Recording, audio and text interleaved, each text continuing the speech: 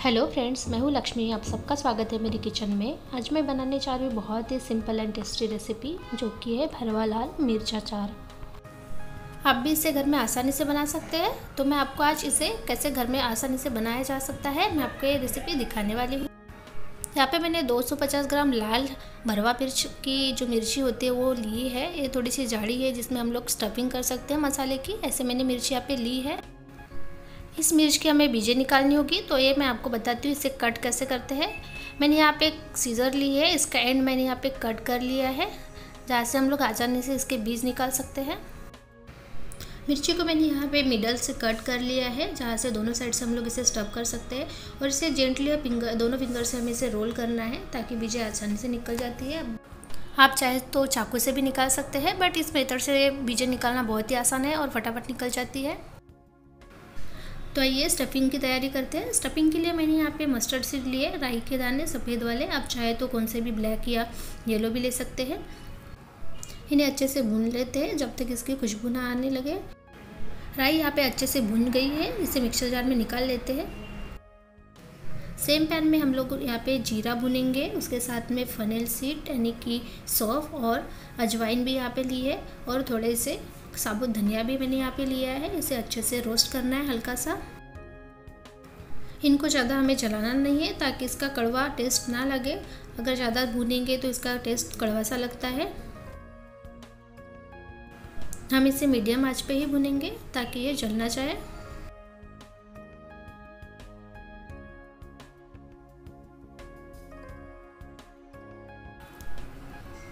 मसाले यहाँ पे ऑलमोस्ट भून चुके हैं, गरम हो चुके हैं। मसालों को मैंने मिक्सर जार में निकाल लिया है। इसे थोड़ी देर ठंडा होने देते हैं। फिर इसे कोसली हमें ग्राइंड करना है।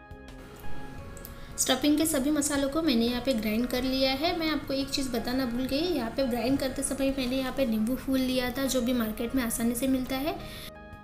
इसे हम अचार में खटास आने के लिए यूज़ करते हैं। आप चाहे तो नींबू भी यूज़ कर सकते हैं। थोड़ा सा नमक डालेंगे, स्वाद के अनुसार।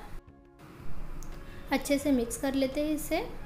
और यहाँ पे थोड़ा सा मैंने तेल भी गरम करके रखा है, जिसे हम लोग इस स्टफिंग मसाले में डालेंगे। इसे ठंडा करके ही डालना है। आप चाहे तो कौन सा भी ऑयल यूज़ यहाँ पे कर सकते हैं।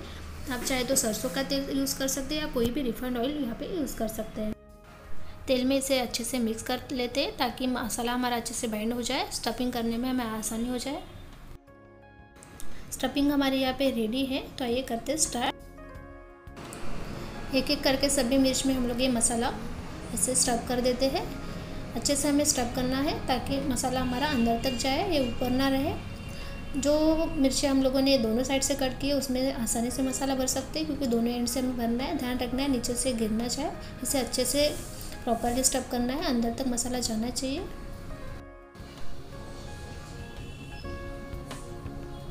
सभी मिर्चियाँ मैंने यहाँ पे स्टफ़ कर ली है, आप देख सकते हैं, अच्छे से मैंने स्टफ़ कर ली है।